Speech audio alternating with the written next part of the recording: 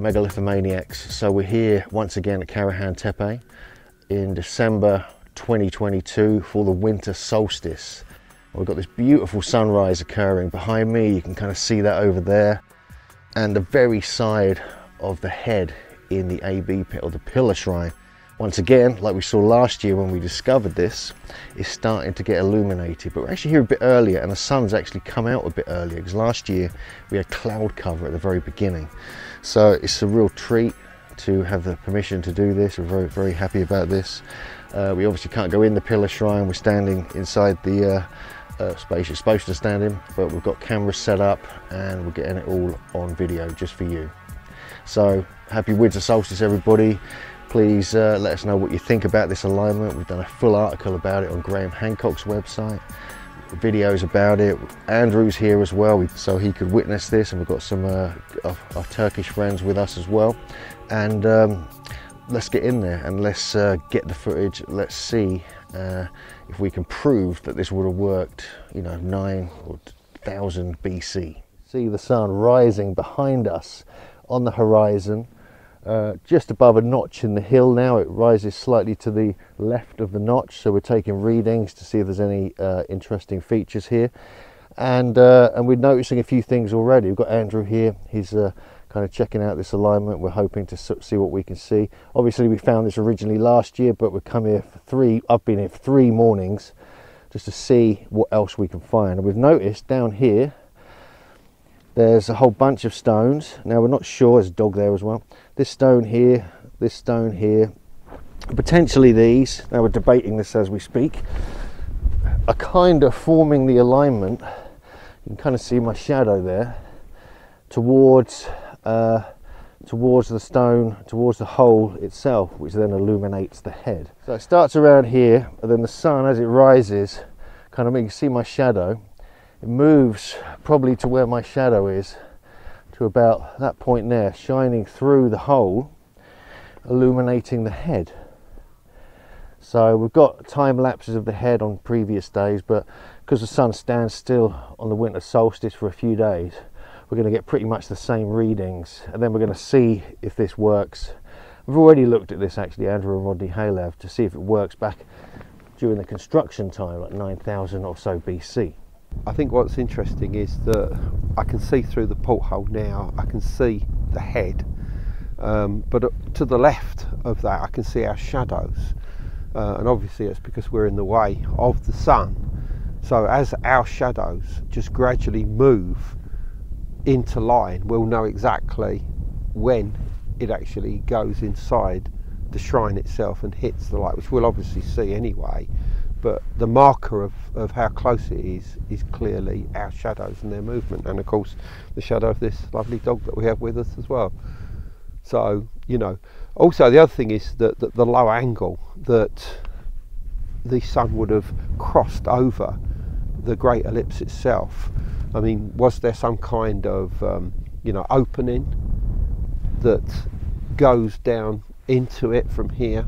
You know a very low point just you know just a, a couple of meters off of the, uh, the the level of the retaining wall? I think probably the answer is yeah. But I mean, it's quite extraordinary being here, um, and it's very clear that this site and the other Tas sites are about the movement of the sun. You know, that seems to be incredibly important for them to synchronise into that cosmic awareness, basically. Uh, we're seeing it in action at this very minute.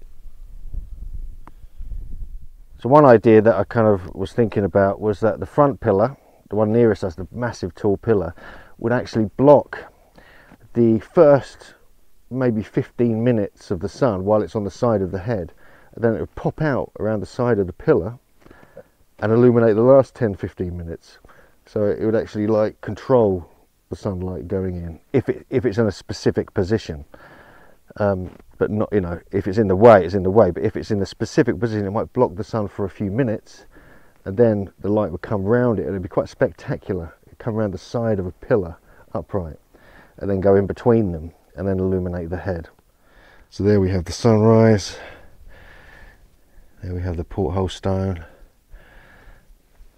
And there we have the head starting to get illuminated on the winter solstice morning 2022.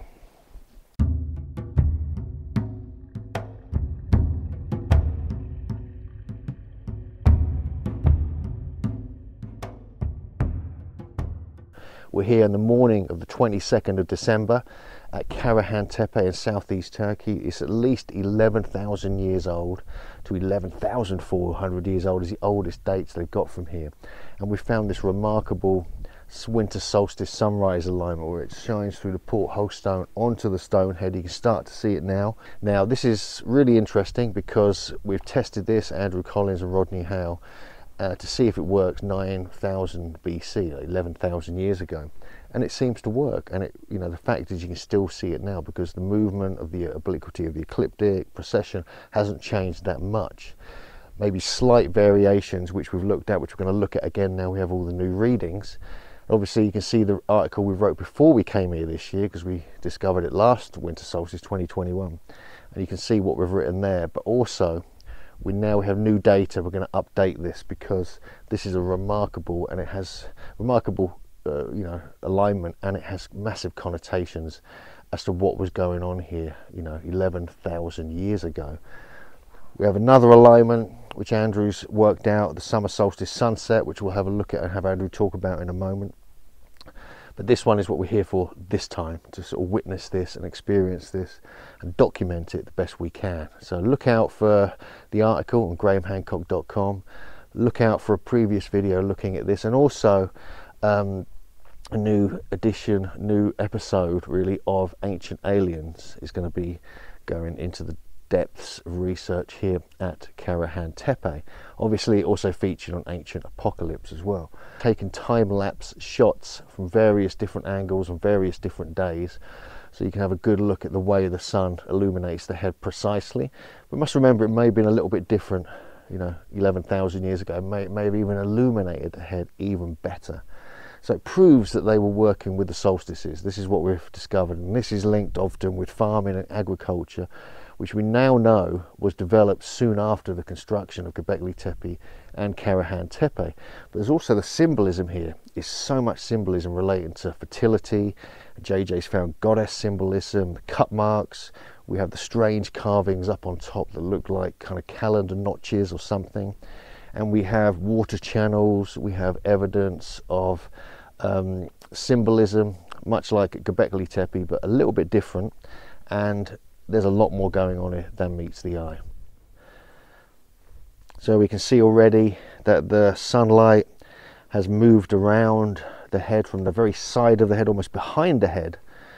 And it kind of goes, as the sun rises, obviously the shadow, uh, sorry, the light through the porthole stone will go downwards and around the sort of mouth, chin, neck area of the head. Although in ancient times it could have been slightly different, maybe even illuminating more of the head. We must, you know, must also notice that perhaps, which we just in here, if we look at one of the main, the main central pillar there lying on the ground, that may have actually partly blocked the alignment. And this is just a theory. We need, we don't know this, and we don't know if we ever will because we don't know where the sockets were that these went in the ground. And it may have actually, I believe, and I hypothesize that it may have blocked the first maybe 10 or 15 minutes of the alignment. So then the sun, as it rotated and rose through the sky, it would pop round the side in between the two pillars and then suddenly start illuminating the head, like probably from around now, from what you can see now, about 15 minutes after the first light hitting the head. Now, that may be not correct, so don't, you know, I'm not going to be quoted on that or anything, but that is uh, it's an observation that uh, could help us pinpoint exactly where these two fallen central pillars, which are badly damaged and broken, may have actually originally been placed.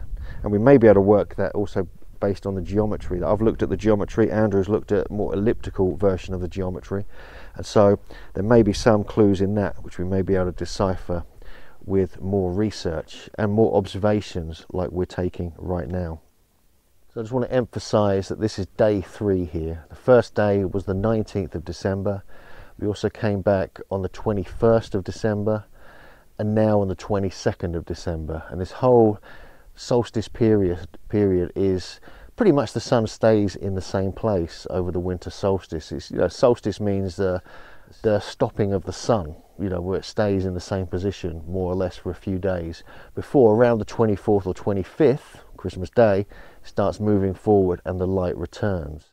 Now, in this second part of an article that JJ Ainsworth and I have done, we look at the symbolism of this and the meaning that we think may be connected with that, with this site. Now, even ideas about kind of fertility rituals, dances, um, and goddess symbolism, and the use of water, and also the solar orb, but also the lunar orb, because we're going to look at all this in the, the second part of our article on grahamhancock.com. We must also remember that and we had Andrew and Rodney, they had a good look at this. Uh, during the summer solstice period, not only do we have this remarkable alignment with the AA pit, the subterranean kind of unfinished pit, we also have the lunar orb, the moon, would follow the same path as the sun on the, the winter solstice, but at the summer solstice, and it would actually possibly illuminate the head, much like we have the solar illumination now we may have had a lunar illumination near or around the time of the summer solstice, obviously during the night. And so there's all sorts of possibilities here that are still being deciphered, still being worked out. We must also remember that there are other researchers that put ideas about this being a lunisolar calendar, Martin Sweatman amongst others. There are other ideas that Andrew's discovered at Göbekli Tepe, and now Andrew believes there's more at some of the other Taş Tepeler sites, even before some of them have been excavated. He's noted notches and hills and things like this that may be relevant.